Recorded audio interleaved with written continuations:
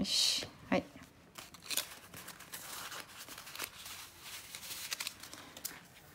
はいここ見つけた。はいじゃあここ。次こっから引っ張って。ねはいこれで OK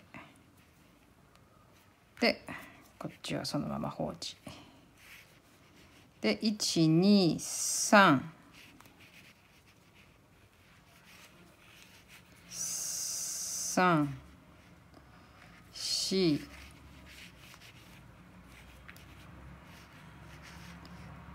5 5で引っ張って。ねさっきのより少し濃い色。濃い色で拾ってきます12345 OK はいでねここ10段目まで来て今ね色のやつをねあのー、モザイク編みをしないでそのまま1段ずっと筋編みを入れていこうと思います。っていうのはここから柄を変えるのではい。でどんな柄が入るかっていうとこの柄今回はこの柄を入れていこうと思います。これも簡単な柄なんでねこんなのをちょこっと入れていってみようかなというわけでとりあえず1段色物を 色物を1段普通に筋編みで入れていきます。はい、1、2、3、4、5、6、7、8、9、10。はい、10段編んで、で、次11段目、こうベースのね、色に変えてきました。で、ここから模様を入れていきます。で、模様はどうやって入れていくかっていうと、いきなり最初からもう、こう糸をね、ここ交換したところなんだけど、交換したところからいきなり下ろします。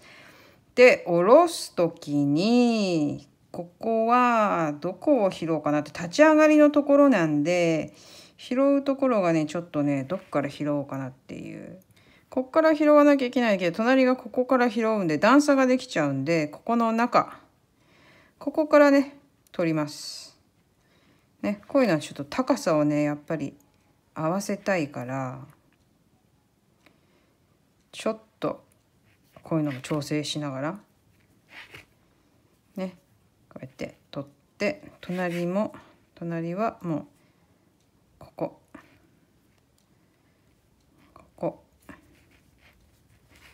2ね。こんな感じ。で次は9個このままいきます。はい。1289はい。で9個。9個きたね。そしたらまた上から下に1 2 3 3つ、ね、最初のところは2つだけどこれは3つのうちの2つだからね。でこう3つ下ろしてでそしたらまた9 1 2 8 9ここだね。9でそしたら123また下ろしていきます。じゃあねこんな感じで。1周。6していこうと思います。7 8ちなみにこのこれはこの毛糸。この系統というかこのコットン糸は今の段で終了になります。終了というか一旦終了ね。次の色にまた次は変えていきます。ちょっと。ちょっと。私がねちょっとちょっと言う時はね また変なニュース見っけたってやつなんだけどいやこの議論はね議論っていうかねこれはねちょっとねあのあれですよ。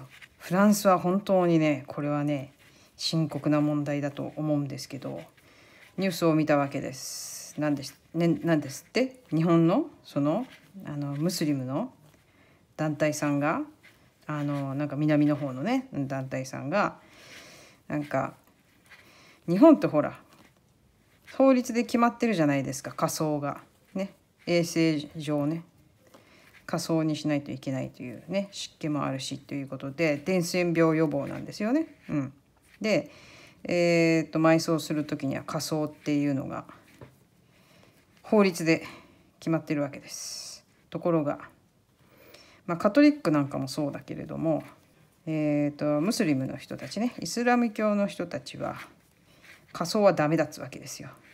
ね。仮装はダメだからえっ、ー、となんだってえっ、ー、と日本は、えーと、宗教の自由を保障しているんだからえっ、とあのムスリム用にねあの土葬の墓場をね作れとしかも国が作れってわけですよおかしくない？なんかネット上ではあの非難合々だったらしいけど当たり前だよねって話でさっていうのはさまずね日本で信教の自由が認められてるのは日本人だけです。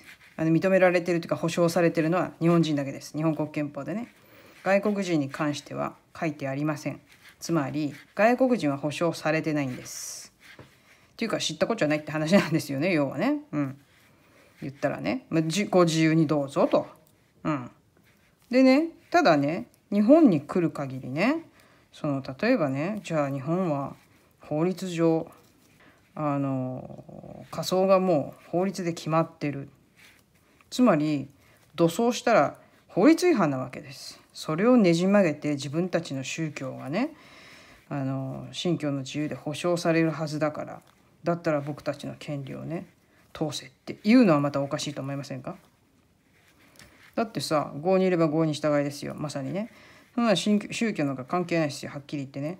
それリサーチ不足でそういう国に来ちゃったんだからそれが嫌だったら日本で死ななきゃいいわけです。要はね。日本で埋葬しなきゃいいわけですよ。そういうことでしょ？日本は法律で決まってるんです。その日本にあなたたちが来たわけです。なので日本に従ってください。それが嫌なら自国で埋葬してもらいましょうよっていう話ですわ。あのねフランスでもそうなんだけど彼らっていうのはいやあの彼らだけじゃないですよ。3456789ムスリムだけっていうわけじゃないけれども他の国に来てね自分たちのねその国のあのなていうのかな法律とかがね自分たちのねあのあれに合わないからって言って自分たちのために特別にねその国の法律をね曲げてでもやれっていうのは他どっちがいいって話なわけですよ。どう考えてもそうでしょだって何言ってんだって。でそれがもうひどいことになってるのがフランスなわけですよ要は。で彼らは自分たちの権利をね主張するわけですよね。うん、でね自分たちのその多様性多様性僕たちを受け入れろって言ってんのに言ってるけど自分たちに何やってんのって自分たちはさ受け入れないわけよねそうやって。でその何て言うの？その多様性認めろ、えー、他の文化を受け入れろ。で自分たちの文化を押し付けて日本の文化法律伝統そういうのは受け入れないわけでしょ？何言ってんだって話だよね言ったらね。しかもさ何て言うの？例えば私たちがイスラムの国に行ってこうしてくれって言うのってじゃあ OK なわけ？違うでしょ？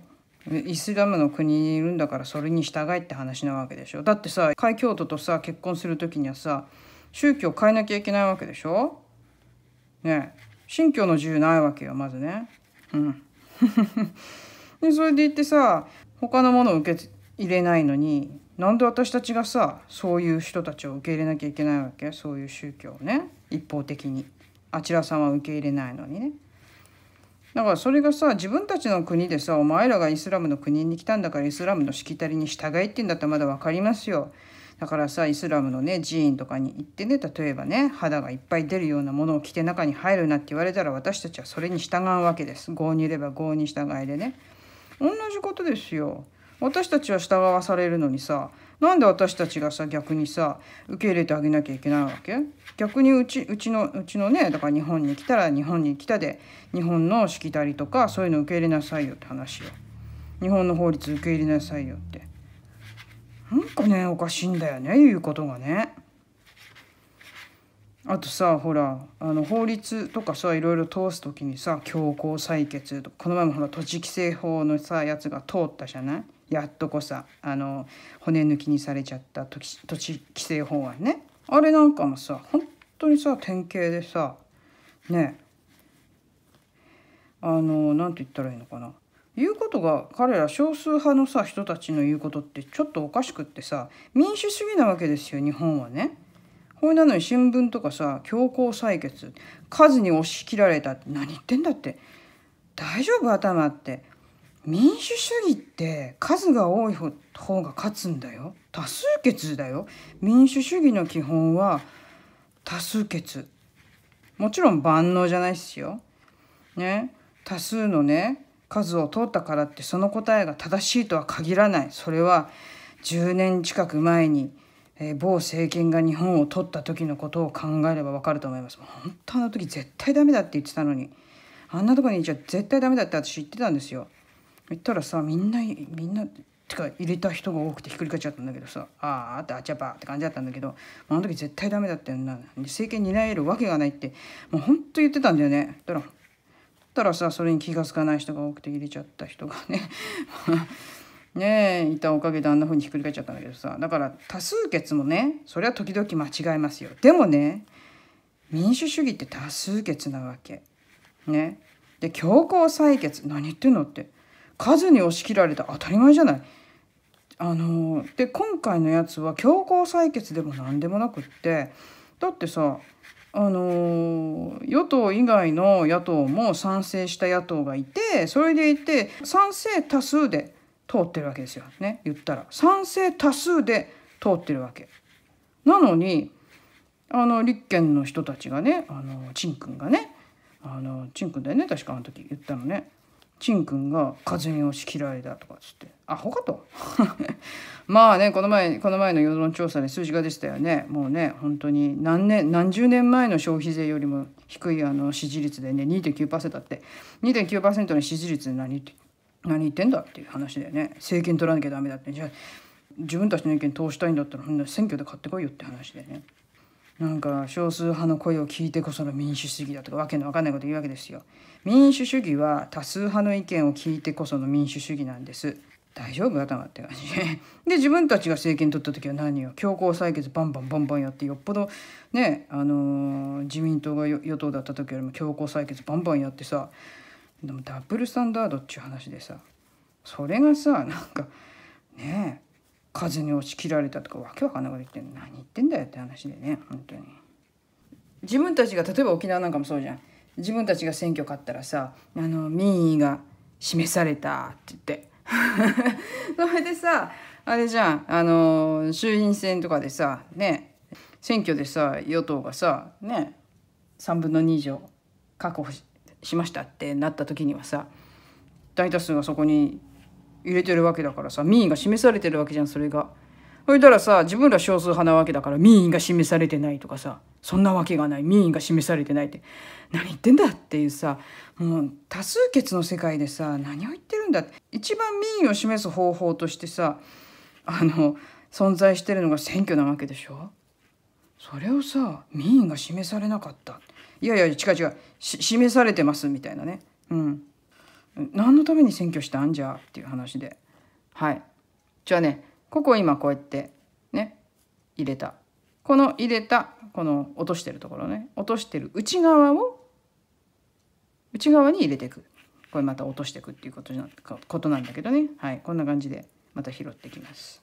うん、だからねだから民意とかいや多数決ですから基本。あの民主主義は。で少数派の人たちは自分たちの声が届かないって当たり前じゃん。少数派なんだから。っていう話ですよ。少数派が嫌だったら多数派になってあのもう選挙勝ってこいよっていう話でね。うん。だからね勘違いしちゃいけませんよって。少数派の意見を聞いてこそ民主主義だって。いや違いますからそれ。全然違いますから。民主主義分かってませんからそれで、っていう話でね。うん。そんな話ばっかりなんかも聞こえてきてさなんかちゃんちゃらおかしいっていうかさ。民主主義なんだか分かってる？みたいな。とにかく自分たちの意見が通らなかったらダメなわけでしょ？あの人たちは。でもさ自分ら少数派なんだからさ支持率2.9%しかないんだからさ通るわけないじゃん。野党の存在意義って何だか分かってんのかしらね。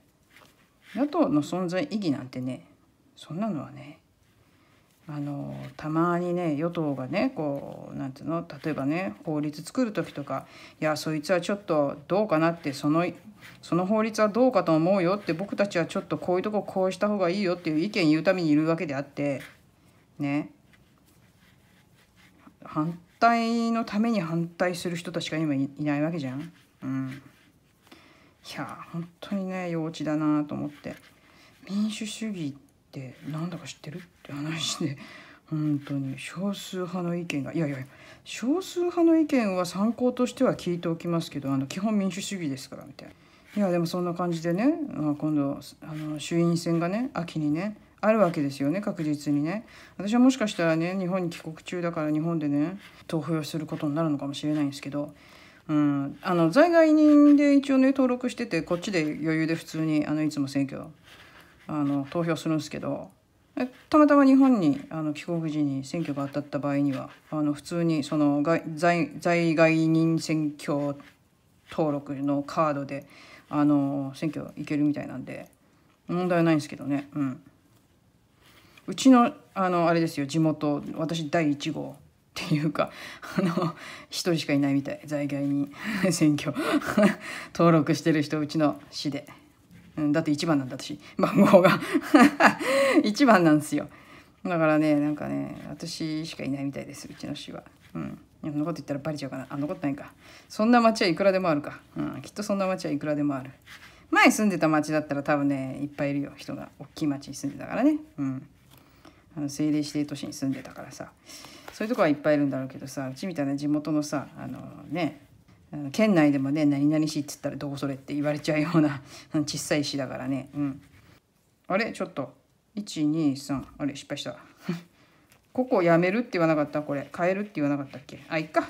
じゃあここ1段編んじゃったからこれはこれでこのままいきましょう。変えるって言ってて変えるの忘れちゃった。喋ってて忘れちゃうね。3 4 1 2これでいいと思う。でここ入れて次色を。色を拾うんだけどこれはだからもう終了。交換するからこれはもう切っていいです。ね。これを切って。はい。で次これを引っ張ってきてこれは糸処理するから。でこうしてで次はどうなるか。次はどうなるか。えー、っと次もこのまま普通に編んでく。1 2 3じゃあねこんな感じでねとりあえず。これはねえー、と模様がねじゃあね分かるようになるまでちょっとね模様が終わるまで編んでいこうか。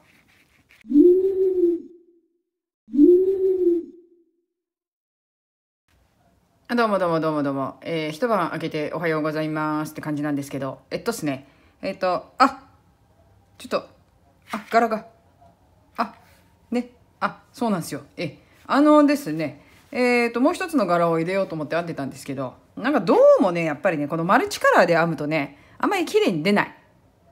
あんまり綺麗に出なかった。うん。なので、この、今回は、この一番、このシンプルな柄、シンプルっつったってねこんだけ色がいろいろあったらシンプルにも見えないけどっていうかな感じなんだけど。まあでもこの柄だけで編むことにしました。でここまでチクチク編み進めてきましたよ。はい。裏こんな感じになってんですけど。これさでねえっ、ー、と直前までねあのー、もうねおしゃべりしちゃったからねそのまま流してるけど、うん、どうしようかなと思ったんだけどもうおしゃべりあのやり直すのあれなんであの そのまま流そうと思ってえっ、とそのままキープでえっ、と途中まで編んでますけど。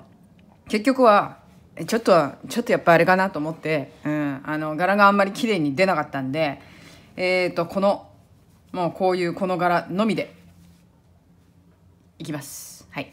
というわけでねこの先続けていこうと思うんですけどなんかさこのさあのー色を見ててね思い出したものがあるんですよ実は。うん、これ懐かしい色の組み合わせだななんて思ってっていうのは何だか分かります？このねまあちょっと色は違うけども このね ベージュ系の色とねこの緑とかベージュ系の色とこのピンクの色とかなんかね私はねこの組み合わせこの色の組み合わせを見ると思い出すものがあるんですよ。何だと思いますか？それはねノースキャロライナ。なんだそりゃって話でしょ。いやいやいやいやあのねノースキャロライナって言ってもねいやアメリカのノースキャロライナ州には違いないんですけど別にそこを思い出すわけではない。その場所を思い出すわけではないんですよ。でね一生懸命調べたんであれ？あれ今まで売ってんのかな？まだ売ってっかな？でもなんか最近見ないからって確かメーカーは富士屋だった気がする。そう富士屋のノースキャロライナ。一生懸命探したのね。今ねもうねあの終売っていうことでねもうかなり前にあの販売やめてるらしくて。なんだそりゃって。まああのネットで弾いてみてください。富士屋のノースキャロライナー。きっと見た人懐かしいってきっと思うと思うんだけど子供の時よく食ったぞっていうあの富士屋のソフトキャンディーっていうかキャラメルっていうのかな。うん。あのあれね。うん。こういう茶色のキャラメルの中にこうメロン味だと緑のこう渦巻き。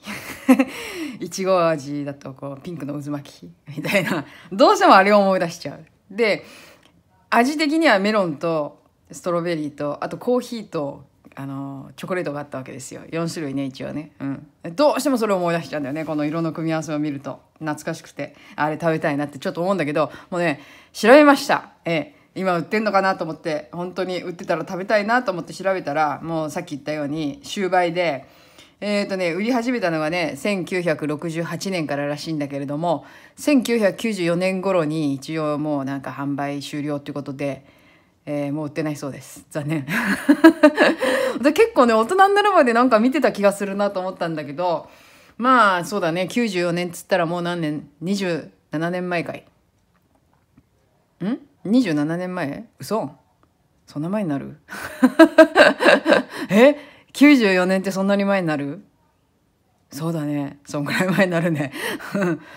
だからその頃からもう売ってないらしいんだよね。うん。あれ子供の時よく食べてたよなと思って。でなんかさあのノースキャロライナののそのまあなんでノースキャロライナかっていうと当時の社長がねあのノースキャロライナ州に行った時にその山の中でね切り株見てね感銘を受けてであのキャンディーを作ったってわけですよ。あの60年代にねノースキャロライナに行って。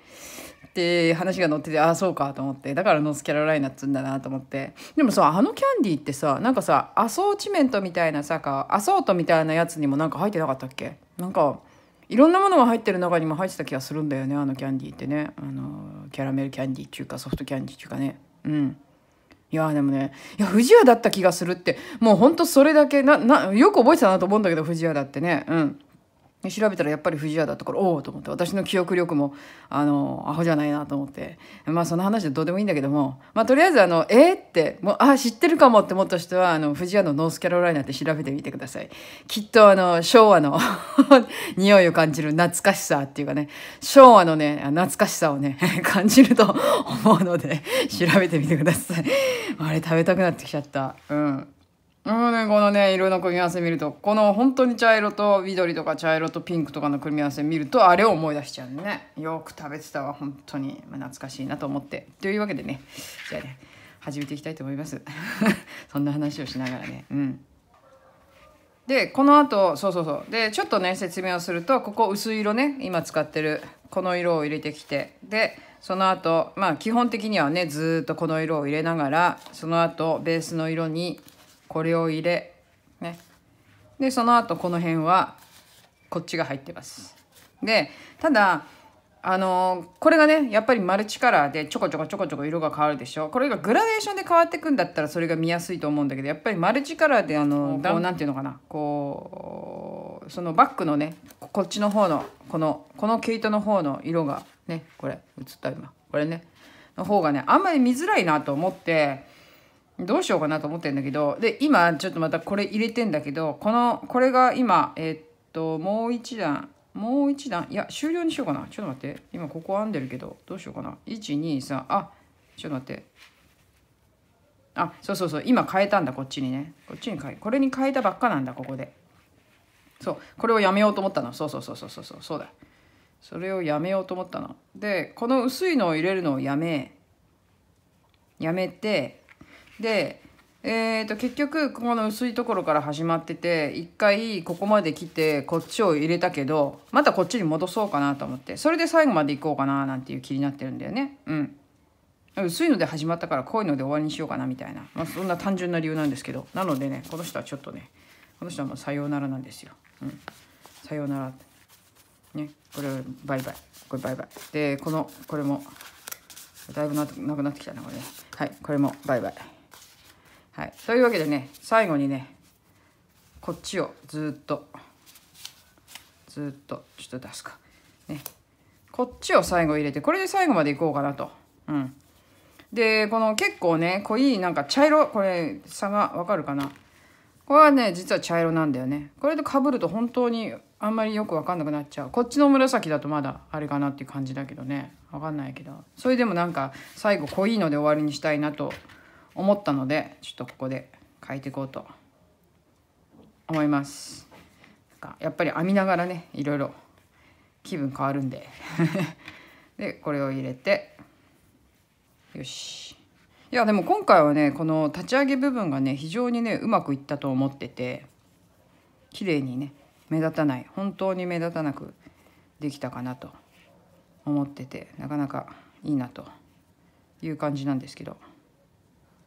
よっと。これね。はい。でねあとねまあどれぐらい編もうかなと。あとこのぐらい。ねあとこのぐらい。編もうかなっていう感じなんだけど。まあまあいい感じじゃない？でもあんまり長くなくてもいいか。このぐらいでいいかな。ね。このぐらいでいいかな。そうだね。はい。あと2センチぐらい。このまま。編んでいこうと思います。いやこれはもう今日中に終わるよ。動画も1本でいけんじゃないか？多分。そう思ってるんだけど。1本で編集しようと思ってるんで。ねこのねこの緑と紫の組み合わせ。まあ、これ私好きな組み合わせなんですけどね結構ね。うん。これはいいね。緑と紫の組み合わせ。最高。反対色ね。反対色いいっすよ。あの同系色もいいんだけどやっぱね反対色の組み合わせっていうのは合うからね。うん。っていうのはさこの緑とね紫の組み合わせがかっこいいと私は思ってて。でね実は私のねこれ懐かしい話ですけど私のあの成人式の時のお着物ねお着物。ええ。成人式の時のお着物がねこの紫と緑の組み合わせだったわけですよ。まあ発展なあれだね。あの色としては紫なんでえっ、ー、とえっ、ー、となんていうのグラデーション的には薄い紫からこう濃い紫になる感じでね。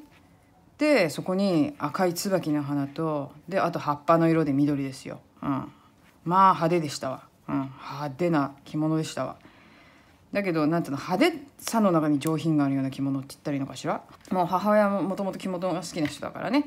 それでさ母親と一緒に呉服屋へねいつ、えー、見に行った時にさよく世話になってた呉服屋なんだけども、えー、そこ見に行った時にさこうほら見せてもらうじゃない。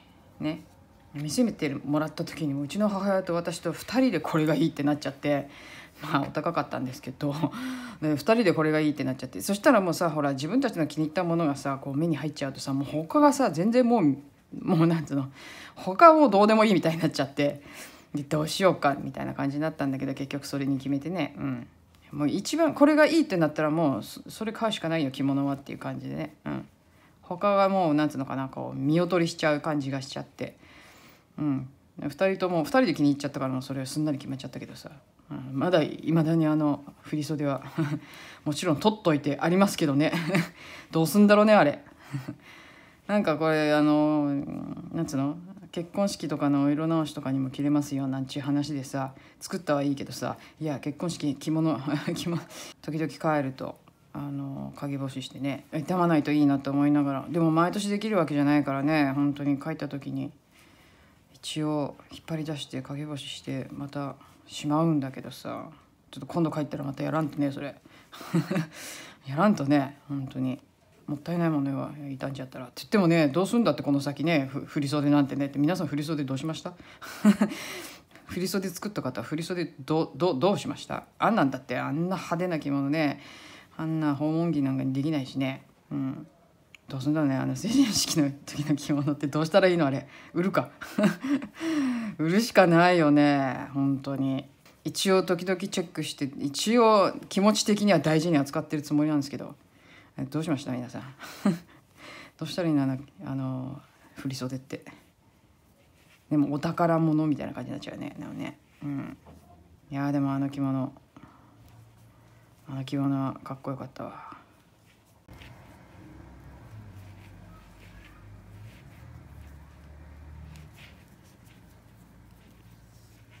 はいここまでやってきました。でとりあえずちょっと次の段のね糸抜いといて。で大体ねこれでちょっとどんぐらい？これで大体13センチぐらい。13センチぐらいなんですけど。なんかこんぐらいでいいかなと。あんまり深すぎなくていいかなと思ってるんで。でこのあとこのベースのねこっちの糸。こっちの糸を2段。1段はうんとあれして普通になんだっけ編んで。でもう1段あのー、足して。まあそれで大丈夫かなと思うんだけどちょっと様子見なんだけど。でそのもう1段って最後の1段のところで、まあ、ひっくり返してそこをつなげるっていう形にしますわ。うん。なのでとりあえずえー、っとこっちのこっちのマルチカラーの方の糸はここで終了となります。終了とします。どっち？こっち？こっちだよね。間違いないにしないでね。はい、こっち。で、こっちはこれで直近。はい、直近。いやいやいやいやいやいやいや。はいはいはい。でこれポイントね。で、で、これをまず普通に、普通にモザイク編みの編み方で、えっ、ー、と、ここ入ってるから、ここ下げて、ここ入れたってことはいきなりここで下がるってことだね。ここで下がる時はねいつもね12345ここ拾う場所を迷うんだよね。ここでいいと思う。よし。で12345はい当たり。はい。でここはだから普通にモザイク編みのようにようにっていうかモザイク編みだわ。モザイク編みで編んでって。でこうやってみんなあの糸処理しながら来ちゃったんでもうほとんど糸処理しなきゃいけないようなあの糸はないんじゃないか？裏側多分、まあ、ひっくり返した時に見てみるけどね。こんな感じで。はい。いやこれでもやっぱりモザイク編み好きだわまたまたやるよ。またやるよ。またやるよ。うん。いやあの予定あるんで今ね計画の中でねあのあれやりたいこれやりたいこれやりたいってちょっとメモって置いてあるんだけどさその中にモザイク編みがね4つもあるんだな。4つもあるんだな。うん。でそれでほら編み方としてはさやっぱ難しくないじゃん？基本的には。柄の話だけでさ編み方としてはさもう細編みっちゅうか筋編みと長編みのみだからだから難しいことないわけですよ。ねこうやって引っ掛けて下から持ってくるこの編み方なんて言うんだっけこれ。いや基本これしかないから。筋編みでこうやって下ろしてここ引っ掛けてこうやって持ち上げておっとっとっと。これしかないのね。これでひたすらいろいろ模様を作っていくだけだからそんなにね編み方としては難しくないわけですなのでね本当やってみたいって人はもうこの本当にこの模様からでもいいからやってみたらいいと思いますよ。うん。なんかね夏が近づいてきたせいか夜ね遅くまで人が外に出てていや今ねあれ？夜間外出禁止では？えー、っと今日までかな？今日までかな？えー、っとね最近あよいしょ。この前の6月の9日からかな夜間外出禁止令は23時以降になりで多分それも今日までだと思うんだよね。だからで今日何曜日？今日日曜日でしょ？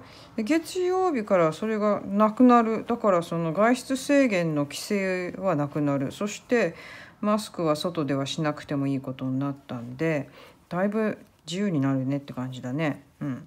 夏の間だけかな。どうだろうね。ね秋になったらどうなるのか分かんないけど。ねでもそれでもなんかマスクはマスクはつけ続けるわって言ってる人はいたね。テレビのあれで。やってたけど昨日昨日かな。昨日か。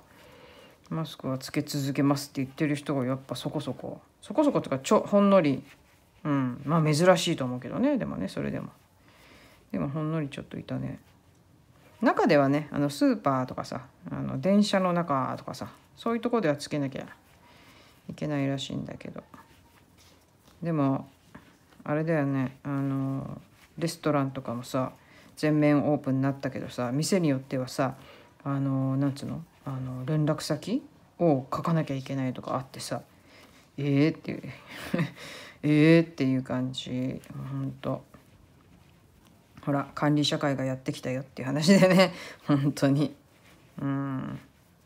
だからねもう何て言うのかな。今までこう自分のさ連絡先とかさその何て言うの？電話番号とかさみんなさそんなに人にさあんまり本当に近しい人とかさ本当に教えても自分でね教えてもいいと思うような相手にしかさ教えなかったっていうかさそれなのにさそうやってさ自分のさ情報を自ら差し出すっていうねそういう世の中になってきたわけですよ。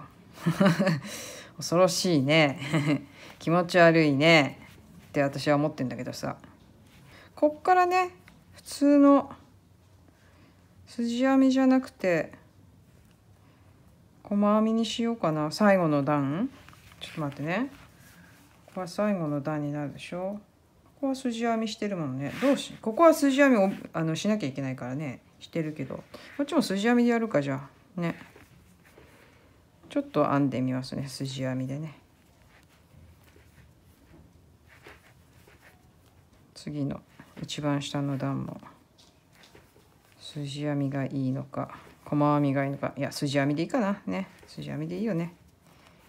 ねだから監視社会って言ってねその自らその自分の今まではあまり人とか知らない人にはこう何て言うのかな教えなかったその自分の情報っていうのをね自ら差し出すようになるわけですよ。でねその辺のね個人情報系のね意識ってねあの結構ねフランス人って低いっていうか何て言ったらいいんだな。今はねそうでもないのかな。でもちょっと前ちょっと前なんかはさ結構みんな平気でさ自分の電話番号とかあの晒してたっていうか普通に街角でアンケートとかやってねそういうのに全部教えちゃってるっていう普通に教えちゃうっていうそういうのの特集をなんかいつだかいつだか10年15年ぐらい前かな見ててああフランス人って普通になんか疑いもせずに自分のあの名前とか住所とか電話番号とかこうやって街街の中で普通にアンケートとかやってる人に渡しちゃうんだと思ってちょっとびっくりしたことあるんだよね。当時日本では結構ねもう何て言うのそういうのあんまりなんていうの個人情報は出さないみたいな方向になってたからね。うん、それを見てああフランス人 出しちゃうのねみたいなうん、あんまりなんていうのかなそういうところにあのなんつったらいいの危機感っていうかうんそういうのがないっていう。かだから例えばそのなんていうの？あれあるでしょ？えっと、お手紙とか食うでしょ？そうするとその住所名前書いてあるじゃない自分の。それ貼っつけたままその封筒をそのままポイしちゃうとかさ。なんかねそういうとこ結構あれだよね。あの無頓着っていうかあんま気にしないっていうか。最近は結構気にするようになってきたかな。でうちのあの家人なんかは割と気にする方っていうか私が気にするからか分かんないけど。ねいや私が気にするって言ったらそんなになんていうのかな。すんごいものすごいなんかもえ絶対嫌だみたいななんつうの。絶対個人情報なんか外出すもんかみたいな。あんまりなんつうのかな。徹底はしてないよ。そんな風には。そんな風に徹底はしてないけどでも一応なんとなく気持ち悪いなと思ったらね自分の住所とか名前とか書いてある封筒はそのままは捨てないよねみたいな。うん。割とフランス人その辺無頓着かなって。まあ今は前ほどじゃないのかもしれないけど。ちょっと分かんないけどね。うん。で何？日本は何？ワクチンパスポートやるの？やるんだって？くだらないよね本当にね。ワクチンパスポートやったところでなんだっつんだよって話だよね。高校まで来たぞと。これでいいんじゃない？これで。ほら。ね？こういう感じ。こういう感じになりましたよ。でね最後どうやってやるかっていうとこれをえっ、ー、とねえっ、ー、とね一応ここで引き抜いてこうしといて普通にね。普通に引き抜きました今ね。引き抜いといてでちょっと待ってね。これをひっくり返す。ひっくり返す。裏返しにします。ひっくり返したらこうね。はいひっくり返します。でここ底を止めていきます。はい。でどうやって止めていくか。もうねもうねこれはね簡単に止めていきますよ。簡単に。はい。簡単に止めていきます。え簡単に止めるってどういうこと？って。あんなもうだって普通にあのあれですよ。普通にこれで細編みで止めていこうと思います。ここ立ち上がった場所。立ち上がった場所でね引き抜くんじゃなくて細編み。ここと。ちょっとよく見て。こっから出てるからここに入れるんだよね。ここ。であとここ。そう。こっから糸が出てるからここね。まずここに入れてこっから抜く。すぐ隣。これで。これでえっ、と細編みをしていこうと思います。なのでこことここに入れて細編み。こことここ。で細編み。ね。こうやって。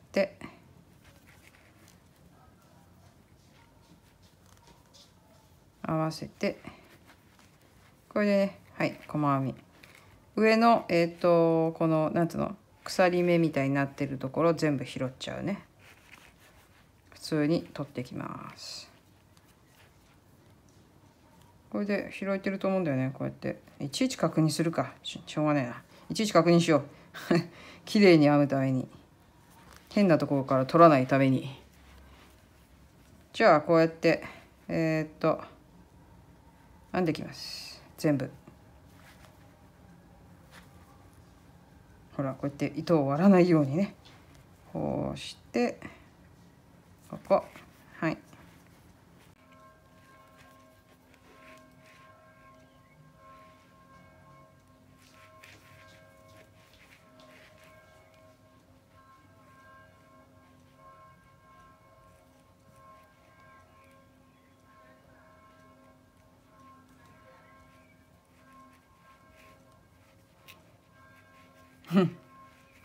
最後どこ？最後どこ？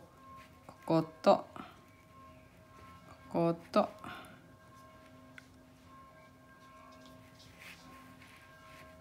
ここかな？もう一個入れとこうかな。隣。こういう感じでどうでっしゃろ？これでいいかな？ちょっと確認。これでまた一応表にひっくり返して確認する？しなくていい？いっか。いいよね。はい。というわけで。ちょっと待ってね。はい。これで終了です。終了です。はい。どうよ？ちょっとひっくり返してみようか。その前に。このなんつったらいいの？あのー、あれだよね。モザイク編みの裏ってほんと綺麗だよね。ほんと綺麗。うん。じゃあちょっとこの辺をねこれ全部もう糸処理してるやつだから出てるやつを全部切ってあれ？何これ？なんかちょっとビロンとなってる。まあいいか。それだからね。はい。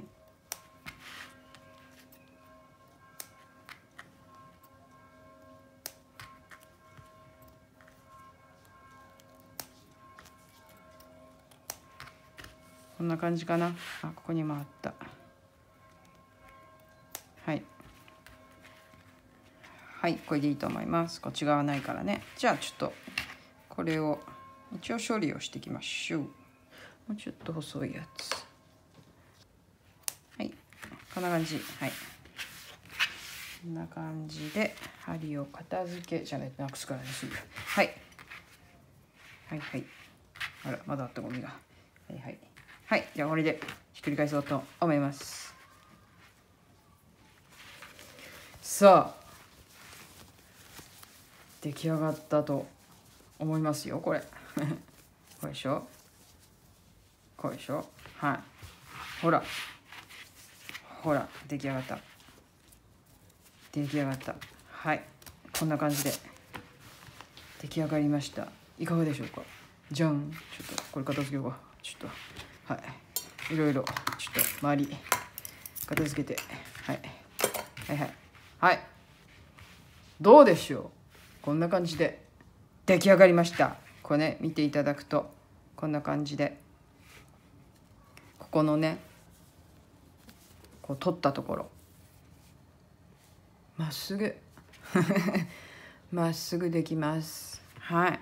これはこれでね相当あの私私的にはですねやりやすいんじゃないかと思いますよ。これおすすめです。本当に。後からファスナーをくっつけるのが本当私は面倒くさいなって思うんでこの方法私はなかなかいいんじゃないかなと思いますね。まあねお好きな方でやられたらいいと思うんですけどファスナー付けは。でもどうにも最後ファスナーつけるのが面倒くさいっていう人は、まあ、こういう手もねありますよっていうんでこれなかなかいいんじゃないかなとおすすめでございます。というわけではい。こんな感じで出来上がりました。表裏。ね。色的にはねどうなんかなマルチカラーってこれのこのねこの毛糸がまたねうん。あれなんで、まあ、ちょっとこれまた余ってるんでこれはまた今度えっとまあ以前やったのと同じようにね白いあのレース糸と混ぜて残りなんか作ろうかなと。また我慢口かな？うん。我慢口かもしんないけど。なんか作ろうかなと思ってるんですけど。まあまあなかなかいいんじゃない？私的にはあのあれですよ。あのこういう色ってあんまり逆に使わないんで新鮮でちょっといい感じです。そしてこの辺の緑とかピンクがこの辺の感じが、えー、ノースキャロライナ風みたいな。感じっていうことで。なんだそりゃってね。うん。いやでもいい感じで出来上がりました。気に入っております。はい。やっぱモザイク編み楽しいです。なのでこれが一応モザイク編みの一番簡単な編み方ね。ね。筋編みでこっちから今回はこっちから編んでるけど筋編みでね。バーッと1本入れたらあとは5目編んで筋編みを編んで1本下から持ってきて5目編んで1本だから6目で1つの模様になってますこれは。うん、なのでこれが便利なのは別にでもさこれが基本ではあるかもしれないけど自分にいかいかようにもできるじゃない結局。うん、別にさ5面のさ一つにしなくたっていいわけでしょ？もっと細かくしたっていいわけでしょ？というわけでねちょっとそれやってみようかなって今ねニョキニョキってね思いついた。もっと細かい感覚でこうやってこうやってやってっても面白いかなと思ってちょっと次ねそれをやってみたいなとちょっと思ってるんですけどはい。あちょっと動画撮るかどうかちょっと分かんないですけどね。うん。なのでえー、とちょっとお試しでまたねやってみようかなと。そんな細かいやつもやったやってみても面白い。何でもお試しですから結局。はい。というわけでねそんな感じでいろいろやっていこうとは思ってますまたね。モザイク編みはね。はい。というわけでね今回はね、えー、これでね完成ということになります。はい。いかがでしょうか。ね。こっちの方が綺麗かな。こっちの方がなんか綺麗っぽくない？なんか柄的に。ね。なんかこっちの方がショッキングピンクが入ってるからあなんていうの？目立つっていうかパッとパッと見なんかこうこの模様がねよく見える感じがするんだけど。はい。というわけで完成。はいというわけでいかがでしたでしょうか？はいこんな感じで、えーと、モザイク編みもこれからまたいろいろやっていこうと思ってます。はいというわけで、え、今回もここまでご覧いただきましてどうもありがとうございました。さらにモザイク編み精進していきたいと思いますんではい頑張ります。よろしくお願いします。というわけで今回はここまで。じゃあさよなら。